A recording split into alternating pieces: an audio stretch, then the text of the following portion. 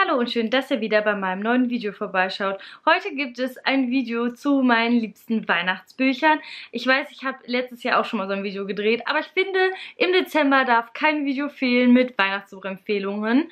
Und es sind zwar jetzt auch ein paar Bücher dabei, die ich euch letztes Jahr auch schon äh, vorgestellt habe, aber es sind ja auch ein paar Follower mit da noch dazugekommen dieses Jahr. Und deswegen dachte ich mir, ich drehe einfach ein komplett neues Weihnachtsbuchempfehlungsvideo. Vielleicht habt ihr das ja vom letzten Jahr auch nicht gesehen und ähm, ich habe mich ja auch so ein bisschen verändert, sage ich jetzt mal, auch wie meine Kamera steht und so und ähm, deswegen dachte ich mir, ich drehe es einfach komplett halt nochmal neu. Auf jeden Fall sind es jetzt äh, fünf Bücher geworden, beziehungsweise vier Bücher und eine ganze Reihe, die ich euch gerne empfehlen möchte, wenn ihr nach tollen Weihnachtsbüchern sucht. Und das erste Buch, was ich euch jetzt gerne vorstellen möchte, ist 10 Blind Dates für die große Liebe.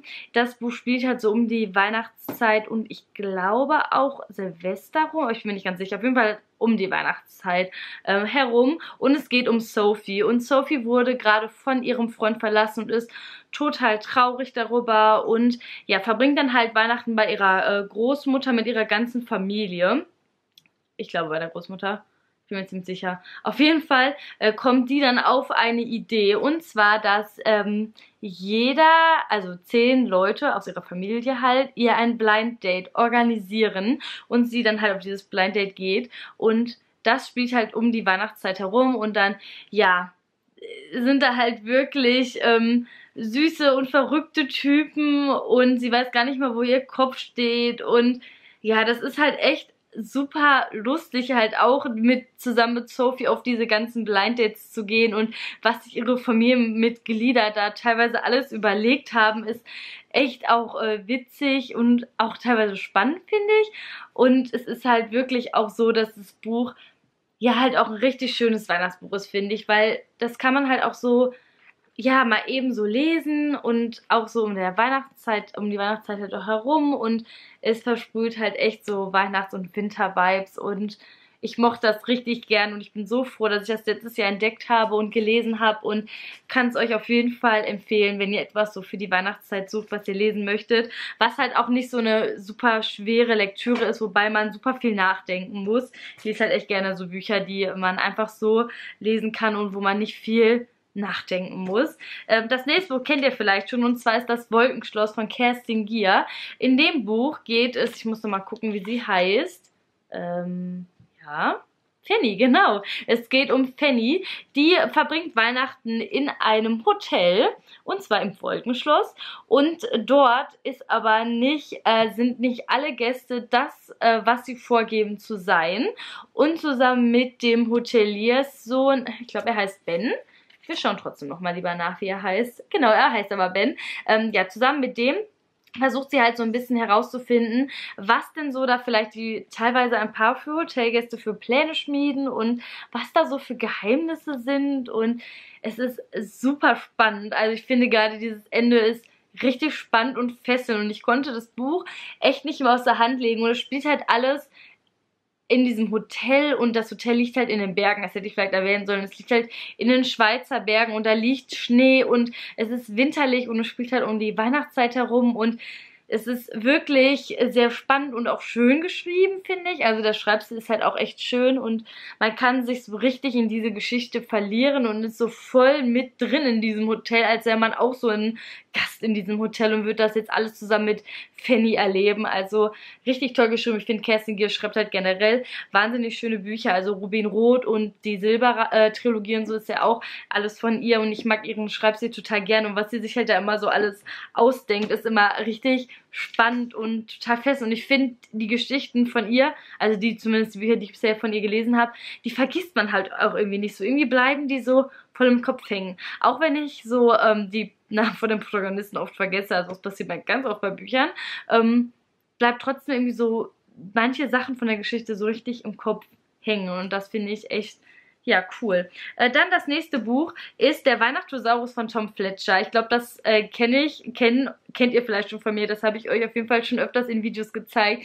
Denn dieses Buch mag ich unglaublich gerne. Es ist zwar eigentlich ein Buch eher für äh, jüngere Leser, weil es hat halt auch Zeichnungen innen drin und ähm, ja, aber es ist richtig, äh, richtig ein schönes Weihnachtsbuch und eine richtig schöne Weihnachtsgeschichte. Und zwar geht es in diesem Buch um William und William wünscht sich halt vom Weihnachtsmann zu Weihnachten einen Dinosaurier und dann kriegt der William also diesen Weihnachtosaurus und es ist wirklich ganz toll, was er dann halt, also auch spannend und es ist halt auch, ich finde es ist halt auch schon emotional, ähm, was er da alles so mit dem Venachtosaurus erlebt und da gibt es auch noch ein zweites Buch von, das habe ich jetzt gerade nicht aus, äh, aus meinem Regal runtergeholt, auf jeden Fall gibt es halt auch einen zweiten Teil von, der Venachtosaurus und die Winterhexe und das Buch fand ich sogar noch ein Ticken besser als den ersten Teil, weil das halt auch noch viel spannender war als hier der äh, erste Teil.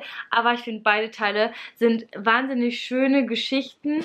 Also der erste Teil ist eine schöne Geschichte und der zweite Teil auch, die aber auch spannend sind und auch finde ich halt emotional und die Zeichnungen da drin sind richtig schön und ja, ich finde, das kann man, das ist, auch, das ist halt auch so ein Buch, was man, finde ich, so jedes Jahr um die Weihnachtszeit wieder lesen kann, weil dadurch, dass da halt auch diese Zeichnungen zwischendurch drin sind, ähm, kann man das halt wirklich sehr schnell auch lesen und es ist jetzt kein Buch, äh, was wahnsinnig dick dadurch halt auch ist und was dadurch halt auch ähm, sehr viel Zeit in Anspruch halt auch nimmt, weil ich bin jetzt halt auch ein sehr langsamer Leser, muss ich sagen. Aber das kann ich halt echt sehr schnell weglesen. Es hat so ungefähr 350 Seiten, aber ja, also ich mochte das Buch richtig gerne und vielleicht schaffe ich es ja sogar, dass ich das jetzt dieses Weihnachten nochmal lese. Mal schauen, ob ich es schaffe. Irgendwie, ja, habe ich da echt Lust drauf, weil ich weiß schon teilweise gar nicht mehr so richtig, was nochmal passiert ist, weil ich ja letztes Jahr nur oder habe ich letztes Jahr den ersten Teil auch nochmal rereadet und dann den zweiten Teil gelesen? Oder habe ich nur den zweiten Teil gelesen?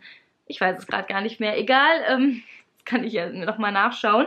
Das nächste Buch, was ich euch zeige, ist New Beginnings von Lily Lucas. Das ist jetzt nicht so ein typisches Weihnachtsbuch, aber es spielt halt in den Rocky Mountains und zwar macht Lena ein Au-pair-Jahr in den Rocky Mountains halt und ist dann in einer ähm, Familie halt dort genauso Coopers, so heißt halt die Familie, wo sie ist.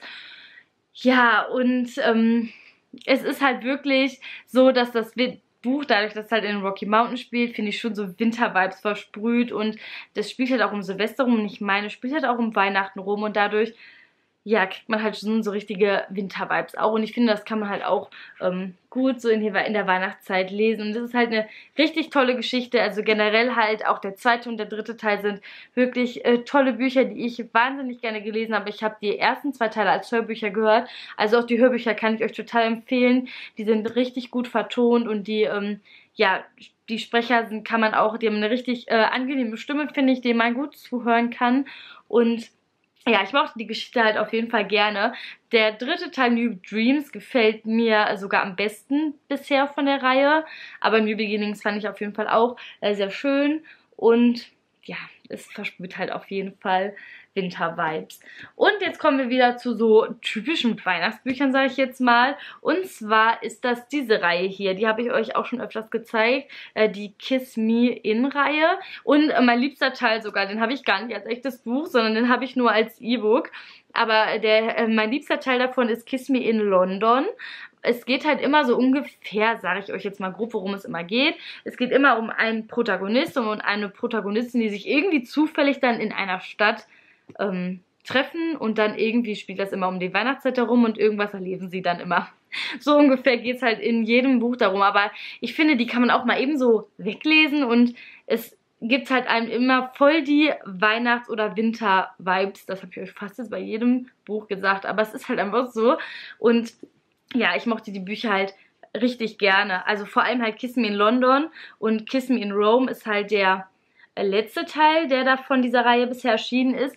Aber ich muss euch schon sagen, wenn ihr euch nicht so sehr spoilern wollt, weil in, in diesem letzten Teil hier kommen, meine ich, die Charaktere vom ersten Teil drin vor. Oder die spielen halt eine wichtige Rolle auch drin. Ich weiß gerade nicht mehr genau. Auf jeden Fall, äh, wenn ihr die ganze Reihe auch lesen wollt, dann würde ich sie vielleicht schon in der Reihenfolge lesen. Muss man aber, wie gesagt, nicht unbedingt. Also man würde sich so weit wie ich mich jetzt so erinnern kann, nur hier in diesem Teil zum ersten Teil meine ich so ein klein wenig dann halt spoilern, aber jetzt nicht zu sehr. Also man muss sie nicht unbedingt in der Reihenfolge lesen. Ja, aber sie sind auf jeden Fall echt schön und die Cover sind halt auch immer total winterlich gestaltet. Also wirklich sehr schön. Hat mir auf jeden Fall viel Spaß gemacht, die Bücher zu lesen und ich würde sie auf jeden Fall gut als Weihnachtsbücher empfehlen. Und ja, das waren jetzt auf jeden Fall die Bücher, die ich euch als Weihnachtsbücher empfehle und ähm, ja, selber gelesen habe und mag. Und ja, ihr könnt mir ja auch mal gerne in die Kommentare schreiben, was ihr so für Weihnachtsbücher gerne lest oder ob ihr auch vielleicht irgendwie ein Buch habt, was ihr jedes Jahr nochmal aufs Neue um die, um die Weihnachtszeit herum lest. Also ich meine, ich schaue mir halt oft auch die Harry Potter Filme an oder lese halt auch manchmal irgendwie ein Harry Potter Teil oder so um die Weihnachtszeit herum. Aber ja, das waren jetzt trotzdem so die Weihnachtsbücher, die ich äh, sehr mochte und euch empfehlen kann. Und ja, das war es jetzt auf jeden Fall mit dem Video. Ich hoffe, euch hat das gefallen und wir sehen uns beim nächsten Mal wieder. Bis dann.